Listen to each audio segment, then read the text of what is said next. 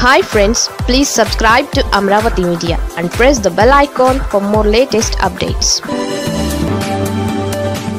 TDP అభ్యర్థుల జాబితాలో మార్పు. సీనియర్ నేతకు చంద్రబాబు పిలుపు.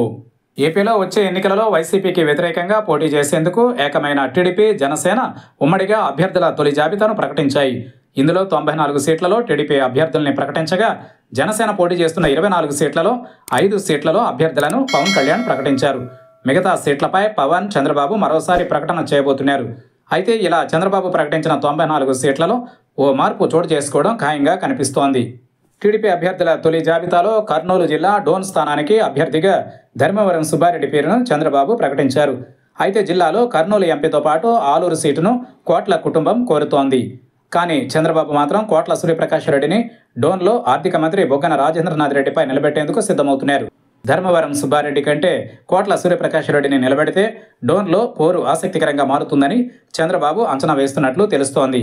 ఈ మేరకు చంద్రబాబు నుంచి తనను వచ్చి కలవాలని కోట్ల సూర్యప్రకాష్ రెడ్డికి కాల్ వెళ్ళినట్లు తెలుస్తోంది. దీంతో కోట్ల కుటుంబ వారసుడు ఇప్పుడు చంద్రబాబును కలిసి డోన్ సీటు ఖరారు చేసుకునే పనిలో ఉన్నట్లు తెలుస్తోంది.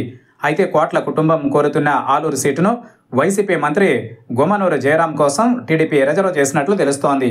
ఈ నేపథ్యంలో ఆయన టీడీపీలో చేరబోతున్నారు. ఆ తర్వాత జయరాం సిట్టింగ్ సీటు అయిన ఆలూరును తిరిగి ఆయనకు కేటాయించే అవకాశం ఉంది.